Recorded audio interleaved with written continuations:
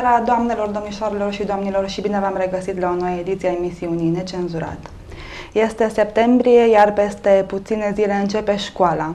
Moment așteptat cu bucurie, dar și cu groază de copii, cu groază mai ales de părinților, care știu că odată cu intrarea celor mici în colectivitate încep problemele de sănătate. Încercăm în această seară să aflăm pentru dumneavoastră uh, cum putem să-i pregătim pe cei mici pentru um, atacul virusilor din colectivitate și ce conduită trebuie să adoptăm odată ce îi atacă acești virus și se îmbolnăvesc. Invitata mea este doamna doctor Biro Enică, medic pediatru în cadrul Spitalului Județean de Urgență Zalău. Bună seara, doamna doctor, mulțumim Bună că seara. sunteți aici. Știu că v-ați făcut cu greu timp pentru noi, că aveți dumneavoastră copil probleme și mai ales uh, un serviciu solicitant. Mulțumesc încă o dată. Bună seara dumneavoastră și telespectatorilor dumneavoastră. Aș vrea să încep cu o constatare. Uh, nu toți copiii se îmbolnăvesc la fel de des și la fel de grav. Ce îi particularizează pe unii și pe alții? Ce face ca unii să pară imuni la, virus care apar, la virusurile care apar în colectivități, fie că vorbim de grădiniță, de creșă, de școală? De unde începe construcția sistemului imunitar și ce îi diferențiază pe copii? Am putea spune că sistemul imunitar se conturează începând de la prima noastră celulă din viața intrauterină, din anticorpii care trec prin, din organismul matern în organismul fetal. Pe urmă începe maturarea sistemului imunitar în perioada vieții de după viața intrauterină, începând cu alimentația uh, nou-născutului, sugarului, pe urmă începe un uh, bombardament al organismului cu diverse microorganisme, fie că sunt virusuri, microbi, prin care uh, organismul încearcă să facă față prin producția de anticorpi intră în discuție și imunitatea realizată prin vaccinările efectuate. Fiecare organism are un sistem imunitar care se maturează și uh, în maturarea căruia intervin mai mulți factori și asta ne diferențiază. Deci, uh, putem spune că ceea ce mănâncă o mamă sau cum uh, se comportă o mamă de-a lungul sarcinii determină modul în care va reacționa la boli, la virusuri copilul când, după ce se va naște. Deci de acolo începe. Are o importanță uh, și în primul rând și materialul genetic. Deci imunodeficiențele congenitale uh, pot să apară prin mecanism de moștenire, autosomar recesiv dominant, adică în familia respectivă poate exista o predispoziție spre un deficit imun, care nu poate fi controlat. Dar poate fi detectat, determinat acest deficit imunologic. Da, există anumite testări, analize din sânge, analize care se pot uh, efectua uh, prin particularizarea unor valori ale, de exemplu, imunității umorale, valori ale imunoglobulinelor, care uh, trebuie au valori normale pe categorii de vârstă. Da.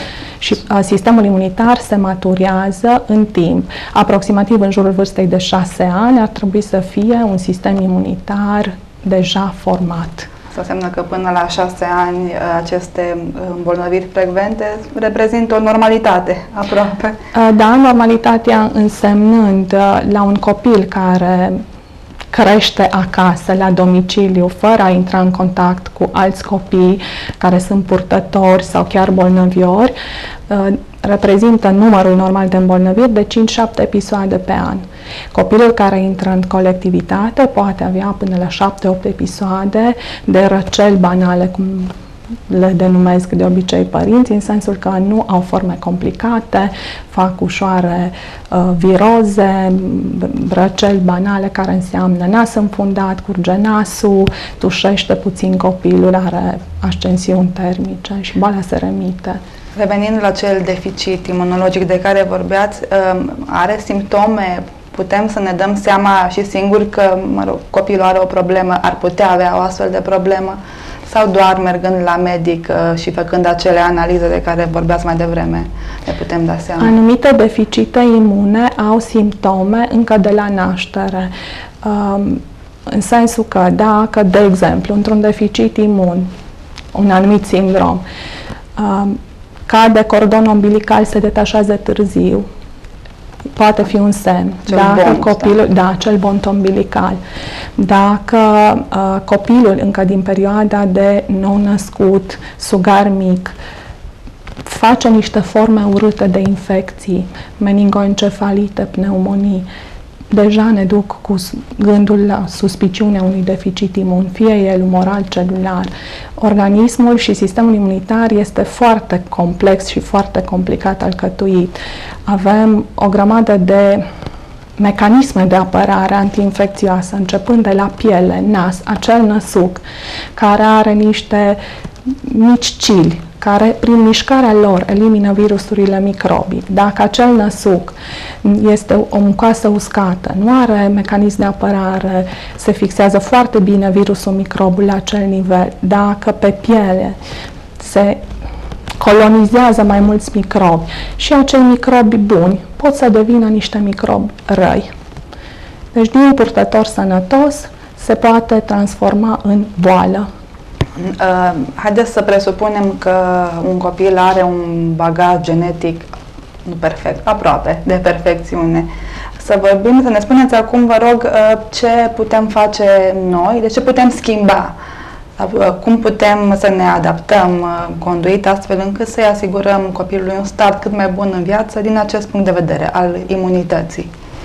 Toate problemele încep de la lucruri simple, de exemplu igiena. Dacă de mici ne învățăm să ne spălăm pe mâini în momentul în care venim în casă de la locurile de joacă, din momentul după ce am utilizat toaleta, înainte de a ne pune la masă cu copii.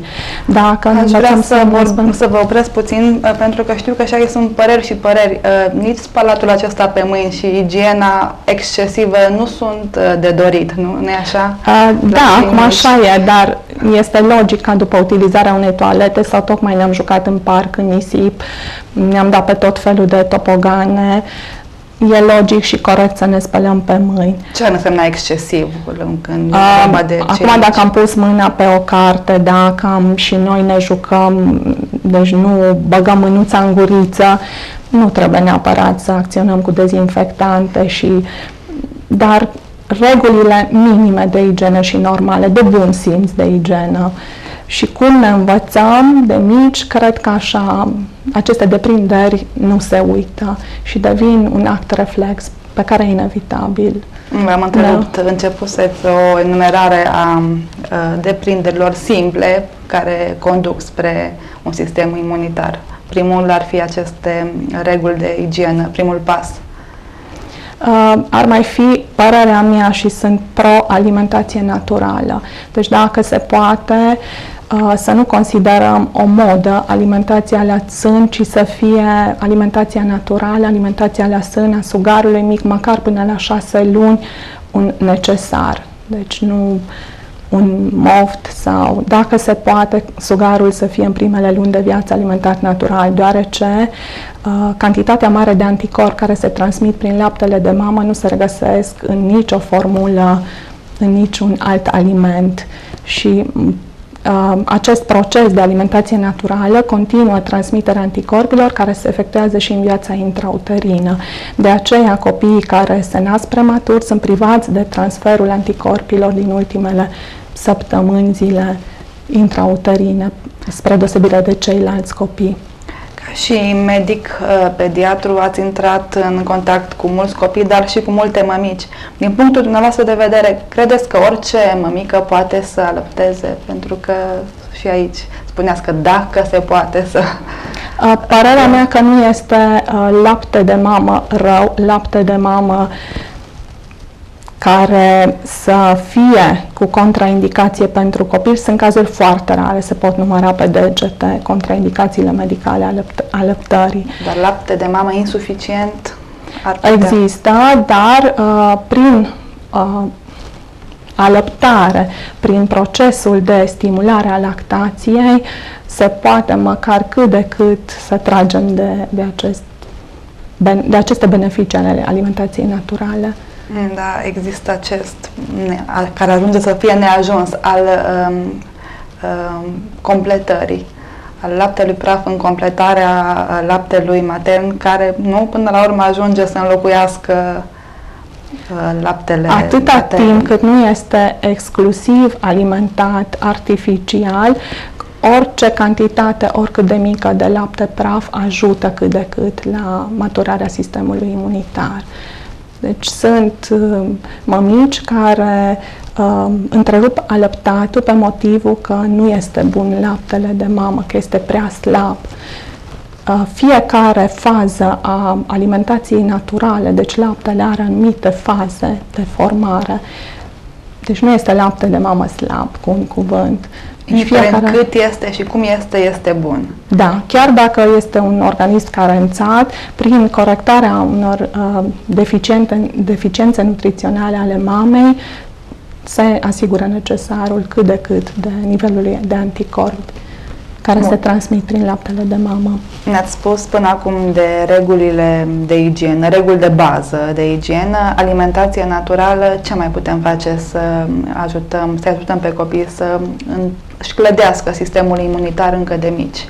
Maturarea uh, imunizării, imunității uh, copiilor se realizează și activ și pasiv. Asta înseamnă și o uh, imunitate care se conturează pe măsură ce trecem prin boală, în sensul că odată organismul întâlnindu-se cu alte microorganisme, virusuri microbi, este nevoit să producă niște soldăței, care soldăței vor reuși să anihileze, să producă niște anticorpi, să anihileze la o următoare reîntâlnire cu acei inamici, să creeze anticorpi și să anihileze sau chiar să dea reacții din ce în ce mai mici, iar cealaltă fază a imunizării prin vaccinări asigură o altă producție de alți soldăței care ne apără de anumite infecții. Ceea ce spuneți dumneavoastră este că n-ar trebui să ne temem ca părinți atât de mult de boală, de acele banale răceli, de viroze, pentru că ele, de fapt, într-o, până la o anumită limită, îi ajută da, pe copii.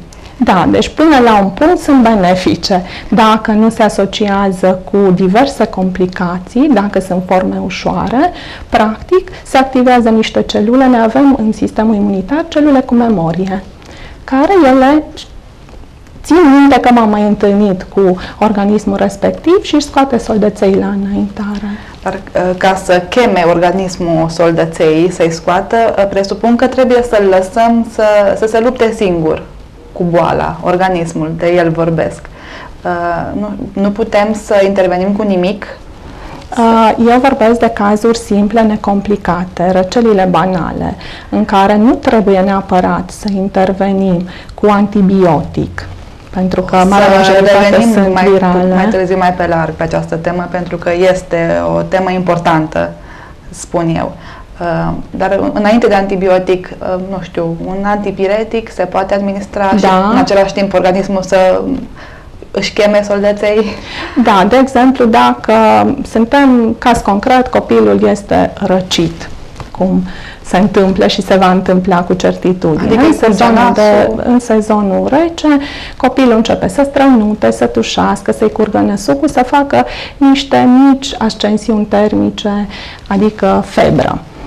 În momentul acesta ne putem interveni cu reguli uh, minime, în sensul că noi combatem febra, se dau antitermice. Uh, mă scuzați că vă întrerup, uh, dăm antitermic cam de la ce temperatură în sus?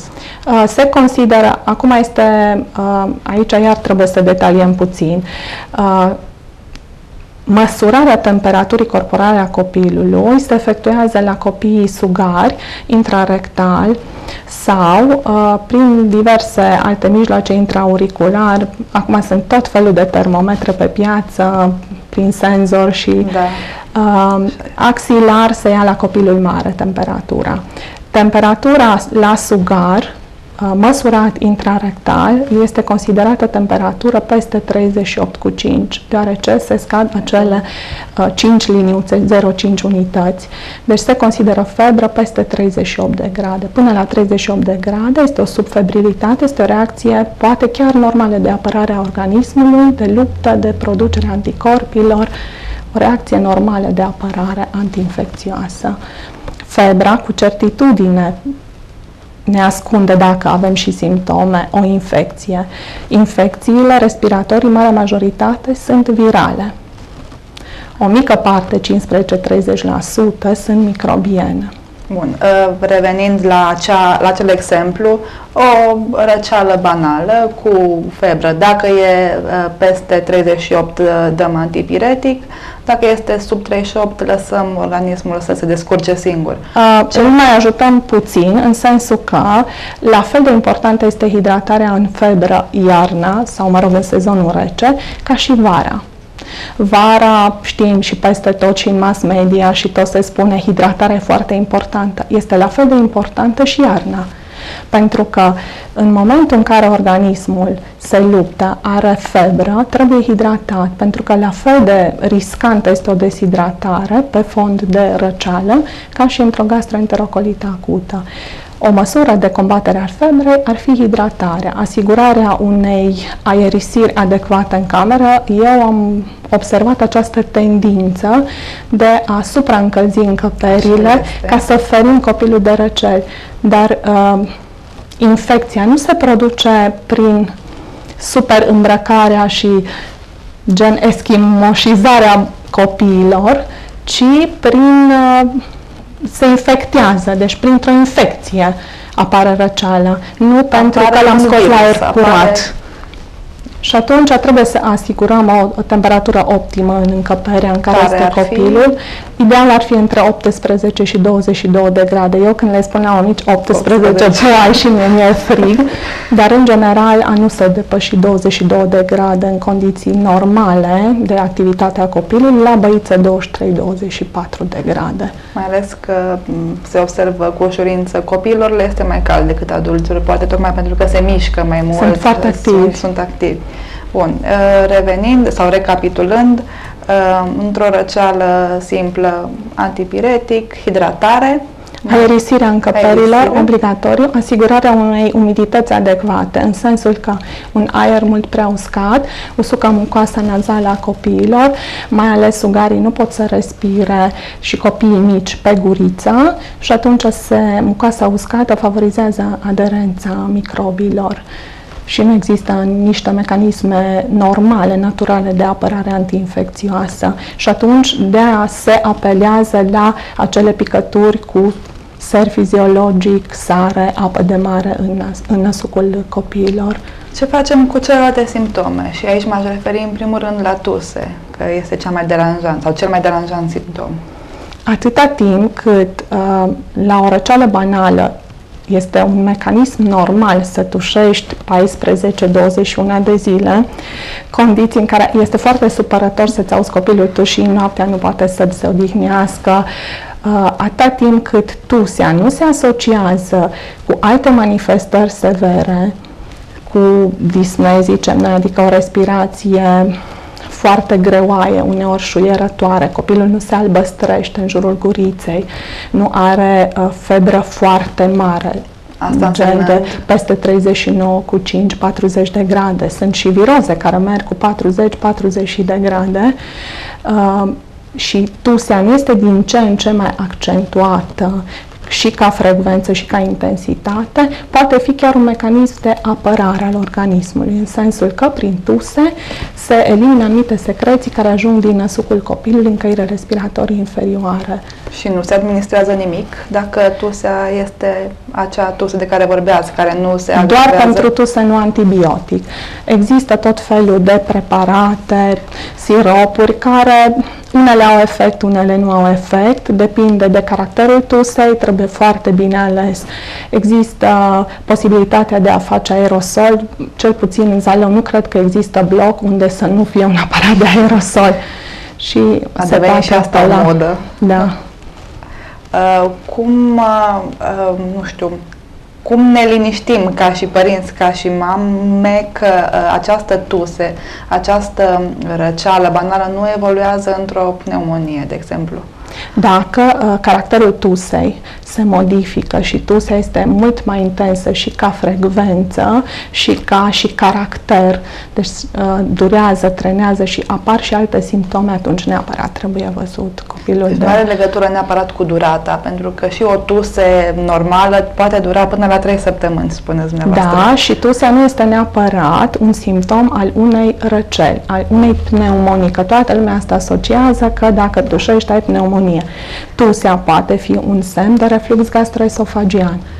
Tusea poate fi un simptom al unei crize de astm să înceapă doar tusea, să fie echivalent, copilul este alergic și tușește dacă este în mediu unde este alergenul respectiv. Și nu înseamnă neapărat că eu trebuie să-i dau antibiotic sau trebuie să-i dau siropuri de tuse, că este o tuse alergică. Trebuie căutat mecanismul care a declanșat tusea, poate fi tusea, mecanism al unei pneumonii care apare mult mai rar pe agent uh, uh, microbian peste care s-a suprapus, dar aceasta apare mai ales la copii cu deficite imune, cu transplant, să fie un parazit sau să fie o ciupercuță, o micoză. Poate să fie tusea și care ține foarte mult Acum, poate fi simptom de tuberculoză, poate fi de o formațiune care comprimă, poate fi tusea simptomul unei uh, boli cardiace. Dar presupun că asta în cazuri foarte rare. Da, da. Deci nu, tusea nu egal pneumonie. Uh, și uh, acum, nu știu dacă este uh, o percepție a mea și este greșită, uh, nu se pune destul de sau prea frecvent acest diagnostic de pneumonie. Există și pneumonii virale, care cred că dacă toți ne-am face o radiografie, am avea ceva elemente care ne-ar duce cu ideea că noi am avut ceva pneumonie. Nu cred să nu să fie avut un sistem imunitar atât de super complex și puternic încât să ne pureze tot. Uh, dar, de exemplu, radiografia nu uh, nu poate pune diagnosticul de pneumonie acută. De exemplu, dacă facem o radiografie pe o pneumonie la un copil care este pneumonia vindecată clinic, aspectul radiologic poate să persiste 3-4 săptămâni după vindecarea clinică. Deci trebuie interpretate toate în context, la copil. Ați uh, pomenit mai devreme în contextul în care ne spuneați că îmbolnăvirile fac parte din uh, acest proces de clădire a sistemului imunitar și de vaccinare. V-aș ruga să-mi spuneți dacă dumneavoastră, ca și medic, considerați uh, vaccinarea antigripală oportună și dacă da, uh, cam de la ce vârstă este bine să vaccinăm copiii antigripal? Indicația vaccinului antigripal uh, este de la vârsta de 6 luni. Până la multă lume întreabă și până la 6 luni ce facem. Ne vaccinăm noi adulții care suntem în contact cu nou-născutul respectiv sugarul. Vaccinarea antigripală Uh, chiar dacă are controverse, s-a dovedit eficientă. Uh, acum mămicile citesc pe tot felul de forumuri reacțiile adverse ale vaccinărilor și încep să refuze anumite vaccinuri. Fiecare vaccin are o reacție adversă, fiecare medicament are o reacție adversă, dar raportat la numărul de copii vaccinați, riscul reacțiilor adverse este foarte mic. Există vaccinuri antigripale, în unele țări sunt controversate care se efectuează prin spray intranazal. Sunt mult mai practice, sunt nedureroase, pentru că e și teama de a merge la vaccin. Ce mi se pare mie că este foarte binevenit pentru noi, că a intrat în schema de vaccinări obligatorii antihemofilus influenza B. Asta este un microbel care uh, determină anumite uh, răceli, otite, laringite, pneumonii și acum se va introduce și s-a introdus vaccinul antipneumococic.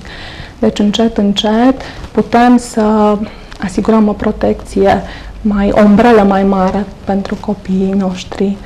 Este. Fiecare vaccin uh, oferă o protecție nu 100%. Faptul că ne-am vaccinat antigripal nu înseamnă că noi nu vom răci. Pentru că ne vom întâlni cu alte tulpini și nu ne, uh, nu ne protejează de toate infecțiile. Vaccinile, în general, sunt efectuate cu câteva tulpini care sunt cumva la modă, în ghilimele, pentru sezonul respectiv, se fac anumite studii și acea de exemplu, antigripalul la noi, se fac două tulpini din, din câte știu eu, de virus A, uh, gripal A și uh, virus gripal B, o tulpină. Sunt Am. un fel de trivalente.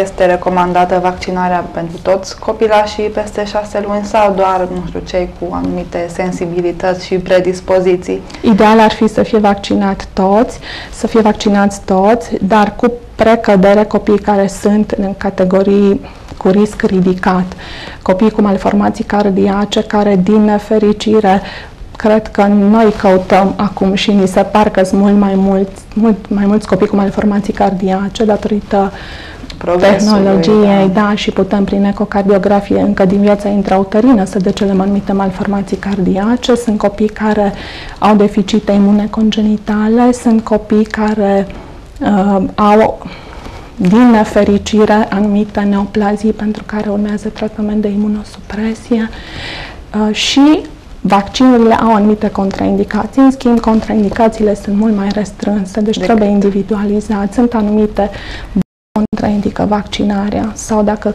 copiii sunt foarte alergici. Aș vrea să aflu și părerea voastră despre tratamentele naturiste, dar asta după o scurtă pauză de publicitate.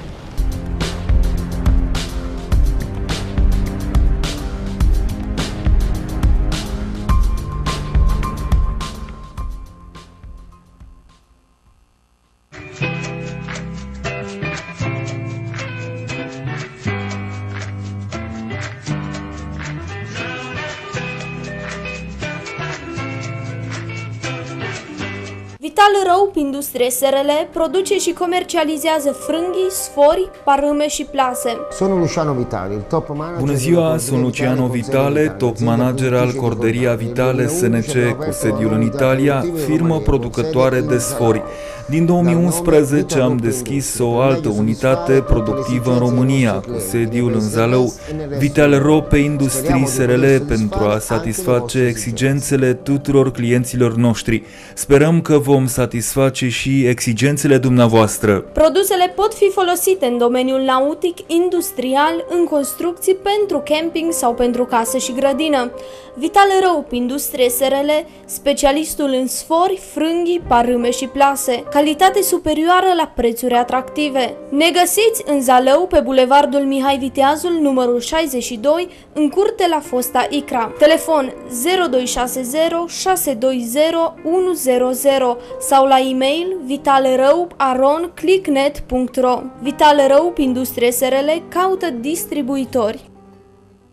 Agenția de turism Avias Transilvania Eurolines. Aici găsiți bilete de avion la tarife avantajoase în România și oriunde în lume. Bilete autocar Eurolines, oferte speciale pentru vacanțe, litoral România, Bulgaria, Turcia, Grecia, Spania, Croația și multe alte destinații. Munte, Balneo România, programe sociale de odihnă și tratament în stațiunile balneare, tarife de la 330 de lei per persoană pentru sejur de 7 nopți, circuite oriunde în Europa, croaziere la tarife pro promoționale. Adresa noastră, Zalău, strada Crișani, numărul 4, bloc T159, scara F, telefon 0260 615 315 0731 378 339, mes Avias Transilvania Turism at yahoo.com, www.aviastransilvania.ro și e-mail office at aviastransilvania.ro.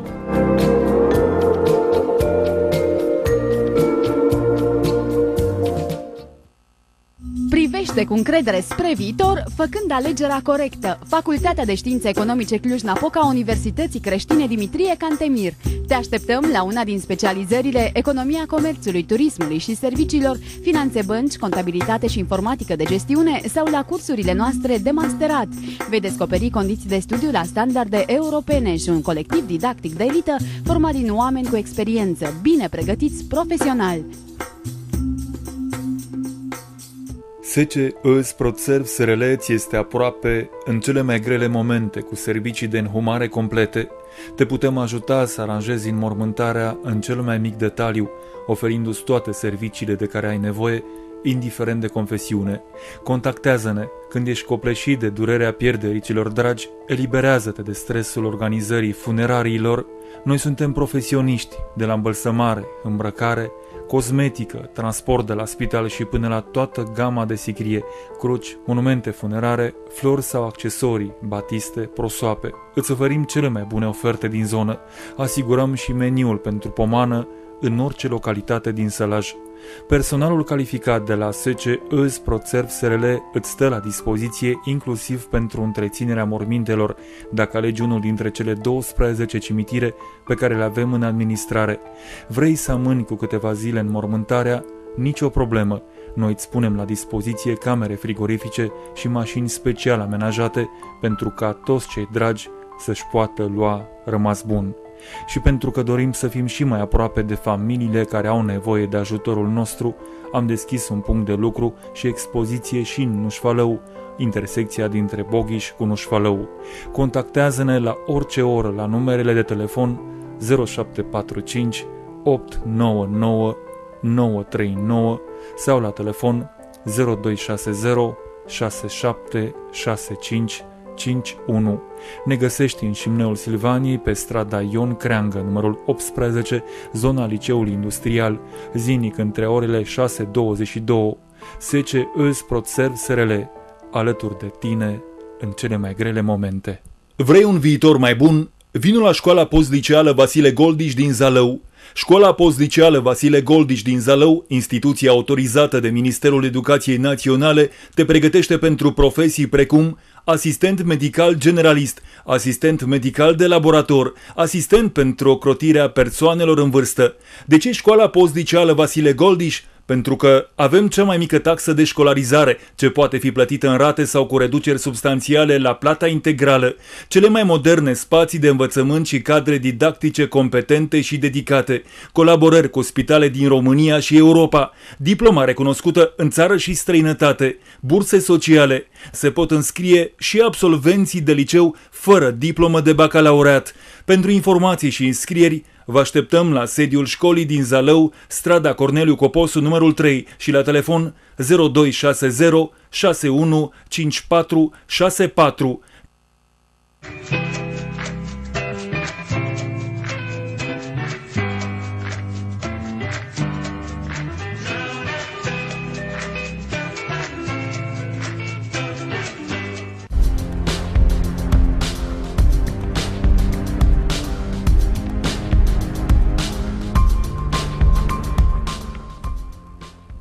Am revenit în studio, alături de mine se află în continuare doamna doctor Biroenică. Vă lansam înainte de pauză provocarea de a-mi spune părerea noastră despre tratamentele naturiste. Mă refer evident la cele pentru tratarea virozelor, dar de ce nu și la cele pentru întărirea sistemului imunitar? Imunostimularea efectuată cu ajutorul diverselor preparate, fie că sunt mini-vaccinuri, fie că sunt preparate homeopate sau uh, cele utilizate de medicina tradițională sau naturistă, uh, trebuie individualizată imunostimularea. Sunt copii care au deficite imune la care trebuie uh, intervenit mai agresiv și nu ne ajută nici preparatele naturiste, nici homeopate. Sunt copii la care uh, spectaculos părinții observă diverse ameliorări. Aici cred că la medicina naturistă ține de conținutul în vitamina C al diverselor preparate, de exemplu cătină, coacăze, um, care preparate ar putea fi înlocuite sau chiar suplimentate cu uh, o dietă echilibrată. Deci copilul trebuie să mănânce o o masă, cel puțin o masă de legume, una de fructe pe zi, să fie o dietă echilibrată, să aibă și proteine, și glucide, și lipide, și bineînțeles minerale și vitamine. Vitamina C se știe rolul vitaminei C în stimularea imunității, la fel rolul antioxidant. Se cunosc efectele benefice ale produselor apicole de sute de ani. Aceste efecte nu se pot contesta, dar trebuie, repet, imunostimularea efectuată artificial, uh, individualizată pentru fiecare copil. Deci, cel puțin, uh, ca și tratament, uh, um, medicamentele naturiste nu au un efect mai spectaculos decât o dietă corectă, da? Adică... Eu cred că nu. Da, într-adevăr, anumite plante au efecte benefice, Uh, dar nu cred că pot să înlocuiască. Deci dacă luăm siropelul și nu mâncăm decât de la fast food, nu cred că vom avea un sistem imunitar mult mai puternic decât cei care mănâncă normal. Pentru normal că, echilibrat pentru vârstă. Pentru că discuția noastră a ajuns de mai multe ori um, să atingă subiectul mâncare, uh, aș vrea să, să ne oprim puțin asupra acestui, acestei teme generoase, mai ales când vine vorba de copii uh, și mai ales în contextul actual în care se vorbește foarte mult de obezitate în rândul lor. Acum, uh, cum spuneam și mai devreme, dumneavoastră veniți în contact cu foarte mulți copii. Uh, este o problemă? Sunt copii din Zalău Că, pentru că... Nu neapărat cei din Zalău, să zicem, că ai noștri sunt mai grași. În dumneavoastră, cu dumneavoastră uh, ei vin în contact, cei din Zalău. Eu zic că începe nu se poate individualiza la nivel de Zalău sau la nivel de Sălaș. Da, Cred că la nivel mondial avem o problemă cu obezitatea. Uh, eu cred că în parte se, datorește, se datorează această creștere a obezității unei tehnologizări extreme, a unui sedentarism și a unei alimentații ultraprocesate și dezechilibrate. Copiii au acces acum la mai multe mâncăruri procesate, încep să refuze uneori alimentația sănătoasă în detrimentul unor produse considerate de noi nu chiar foarte sănătoase. În general, pentru că vorbim de copii de vârstă preșcolară, școlară, având în vedere că începe anul școlar, un copil sănătos, normal, ar trebui să aibă trei mese și două gustări. De preferat să nu se sară peste micul dejun, ce am observat eu că foarte des sărim peste faza asta că ne grăbim la școală. Este foarte greu să ajungi la școală pe ora 8 și să și mănânci micul dejun, spun asta din experiență. Și în general asta am văzut că se sare și atunci poate chiar în pauza mare apucăm repede să mâncăm un sandwich sau ceva cumpărat de la chioșcul din colțul străzii. Uh, ideal ar fi ca să măcar două mese din zi să le luăm cu familia. Deci eu consider că micul dejun și cina măcar ar trebui să fie un moment de reîntregire a familiei și să mâncăm cât se poate mai sănătos și două gustări obligatorii pentru că ați vorbit despre sandvișuri, uh, cu siguranță pâinea și silueta nu fac împreună casă foarte bună. Dar ce facem totuși cu copiii de la grădinițele cu program normal, unde trebuie să le punem ceva gustărică și cu copiii de la școală, ca să mănânce totuși ceva? Ce soluții există ca să mănânce și sănătos, da? să fie și sățios și să nu îngrașe foarte mult? Copilul nu trebuie privat de a nu mânca pâine, pâinea să fie un aliment tabu.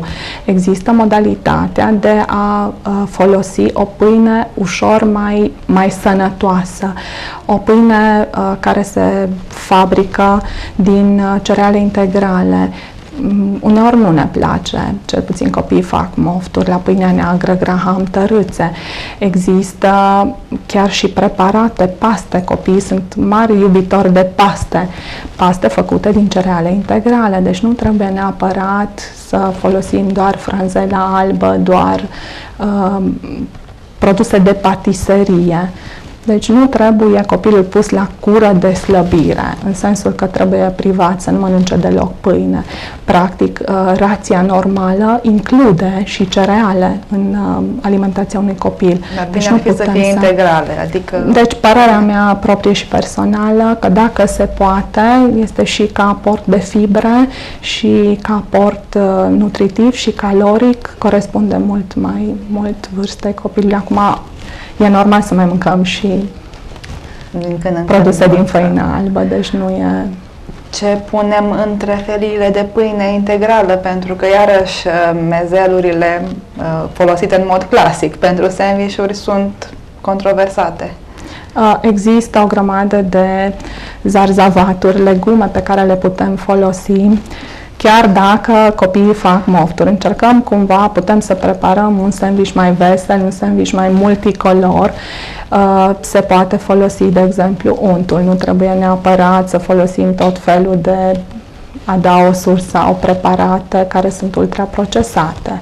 Untul se și consideră că este un aliment sănătos, se pot folosi uh, de la măsline, roșii, chiar și frunze de salată într-un sandwich, nu trebuie neapărat să fie mezelurile. Uh, bineînțeles, copiii văd, deci eu de ce să mănânc, nu mai am avut așa copilaj, că mama îmi tot pune aceleași sandwich și ceilalți toți au dreptul și fac schimb de sandvișuri între ei ca să guste.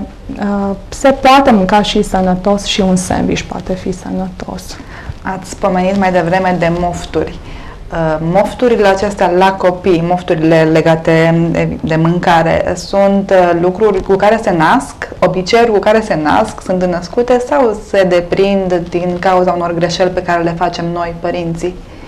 Uh, eu consider că un copil poate fi mofturos nu numai la mâncare și depinde foarte mult și de noi, cum îi oferim forma de prezentare a unei mâncăruri care de care ei nu sunt satisfăcuți, nici măcar vizual, dacă le aruncă acolo în farfurie, știu din proprie experiență, nu cred că dacă le oferim o formă mai atractivă, mai prezentabilă aceleași aliment, poate că îi tentează. Și ce cred eu că nu e bine, ce facem, să fie alimentația condiționată de un fel de pedeapsă. Dacă nu mănânci din farfurie, atunci nu o să îți cumpăr jucăria X sau Y. Eu aș condiționa masa așa, dacă mănânci cât de cât din farfurie, nu trebuie să mănânce copilul tot, pentru că nici noi adulții nu mâncăm în fiecare zi aceeași cantitate la fiecare masă dacă mănâncă, măcar să gustă, pentru că uneori e foarte greu să termin copilul să guste, deci nu vreau, pur și simplu îndepărtează farfuria, dar nici măcar n-a gustat. Și poate chiar i-ar plăcea. Și atunci se poate condiționa, dacă guști măcar, vom merge la joacă în parc sau... Să uh, știe că îl așteaptă o recompensă dacă... Da, și nici de cum recompensă sub formă de dulciuri. Dacă mănânci, o să-ți dau o tabletă de ciocolată. Dulciurile nu sunt bine a fi oferite ca și recompensă. Recompensele pot fi niște lucruri mult mai drăguțe și mai amuzante. Apropo de dulciuri, care este vârsta de la care pot fi oferite copiilor? Pentru că, mă rog, încerc, încearcă mămicile în special să îi țină departe pe cei mici de ele, dar când este, să spunem, sigur? Uh, având în vedere că avem pe piață o grămadă de dulciuri ultra rafinate, eu opiniez pentru uh, a se administra unui copil uh, dulciuri cât mai puțin super rafinate, în sensul că dacă se poate să fie o prăjiturică de casă, ar fi mult mai indicat decât ceva caramele, de exemplu, care fac mai mult rău danturii copilului decât bine. Bineînțeles, copilul are nevoie și de dulciuri, nu putem exclude că așa și învățăm de mici că trebuie să mâncăm glucide, lipide, proteine. Este una dintre plăcerile vieții, nu? Da, deci nu trebuie și niciunui copil nu, nu sunt de acord să interzicem total ciocolata. Sau, dar toate cu o limită și toate cu cu normă de da, Cam consum. de la ce vârstă, de exemplu, putem să le dăm uh, copilor ciocolată? Uh, cacao, în general, nu este indicată sub 3 ani. 3 ani. Deci, în general, acum sunt pe piață o grămadă de produse care au mai mult lapte decât cacao. Uh, ideea este că sunt anumite uh, boli în care se introduce, mă refer la copii cu probleme neuropsihice, unde cacao este considerat un excitant și nu a sistemului nervos și nu le face bine. Pentru că uh, alături de mâncare și uh, mișcarea contează, nu așa, în, în combaterea uh, obezității, cum vedeți dumneavoastră soluția la, la această problemă a lipsei de mișcare pe care eu cred că trebuie să începem cu noi adulții. Uh, copiii noștri imită ce văd. Dacă eu când vin acasă și mă pun în fața televizorului în fotoliu fără să încerc să fac o plimbare cu copilul în parc, așa consider că va fi și copilul, sau uh, utilizarea excesivă a calculatorului, a diferitelor jocuri pentru copii și ei sunt eu întotdeauna am așa o regulă, le spun pacienților mei, deci e vacanță, ok, maxim două ore, televizor plus calculator. tablete și alte cele. Uh, consider că cel puțin, măcar când e timp frumos și nu plouă, măcar să, să iasă două ore pe zi afară, măcar acum în vacanță, că pe urmă săraci au atâtea teme și atâtea activități extrașcolare și școlare încât nu mai uh, plimbatul. Măcar să mergem până în parc, ne dăm un pic pe leagă, ne, dacă nu o bicicletă, dacă nu un not, un tenis, orice sport efectuat, organizat în echipă sau chiar individual sau împreună cu familia ar prinde bine și pentru dezvoltarea copilului motorie și pentru psihicul copilului și în plus sunt o grămadă de repercursiuni ale sedentarismului, începând de la statul mult la calculator, care afectează uh, poziția copilului, coloana, ochiul copilului, văzul, sunt o grămadă de alte repercursiuni. Ce am mai observat eu că în sezonul rece se cam omite administrarea vitaminei D. Uh, eu cam așa le spun principiul părinților în lunile cu literar, măcar până la șapte ani și în perioadele de creștere accelerată să li se administreze vitamina D, pentru că suntem într-o zonă... Orice formă găsim? Există picături, există... există preparate care conțin capsule sau tablete care conțin vitamina D. Uh, suntem într-o zonă climaterică, uh, o climă care nu ne permite uh, asimilarea non-stop pe toată perioada anului a vitaminei D, știindu-se că vitamina D poate proveni din vegetale, din anumite produse animale, anumite soiuri de ficat, de pește, de exemplu cod, sau prin sinteza sub acțiunea razelor solare în piele atunci este bine. Deci, cum spuneați, până la șapte ani în toate Cel lunile... puțin, până, a, și aici trebuie individualizat. În general, până la șapte ani și în perioadele de creștere accelerată. Sunt copii, în general, preșcolarul și școlarul mic are un ritm de creștere de circa 2 kg pe an, creștere ponderală și 5-6 cm în înălțime. Dacă se înregistrează un ritm mai accelerat de creștere, atunci trebuie administrat. Ne apropiem cu pași foarte repede de finalul emisiunii și tocmai am realizat că nu am vorbit despre ceea ce anunțam la început că vom discuta și anume uh, tratamentul cu antibiotice. Am vorbit doar tangențial.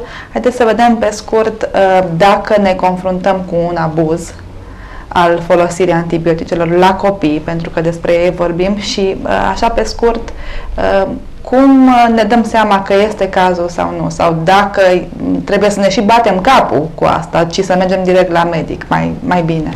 Uh, în orice caz ar fi bine să consultăm fie un medic de familie, fie un medic pediatru dacă avem ceva probleme.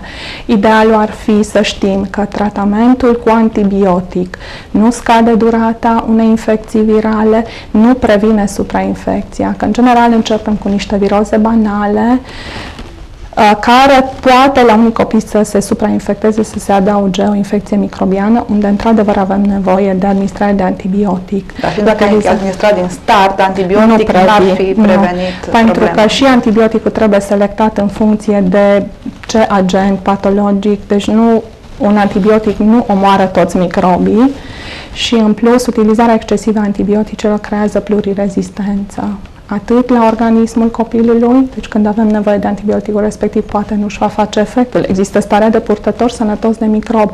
Odată cu intrarea în colectivitate, copiii fac tot felul de analize. Poate copilul să fie purtător sănătos de microb, dar poate fi și practic agentul etiologic al unei boli, acel microb.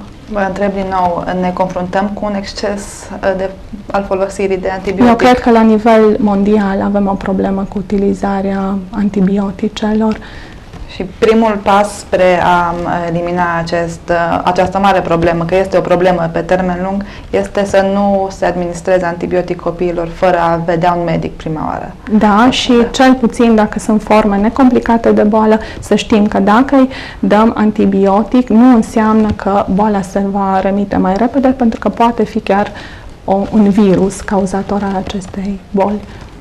Am ajuns la final. Mulțumim pentru uh, informațiile pe care ni le-ați adus, pe care le-ați prezentat uh, celor care ne privesc. Mulțumim și dumneavoastră pentru atenție. Vă așteptăm și mâine seară. Mulțumim și dumneavoastră. Vă așteptăm și cu altă ocazie. Sunt convinsă că despre copii și despre binele lor avem de discutat foarte mult. Mulțumim așadar încă o dată, o seară bună tuturor, la revedere!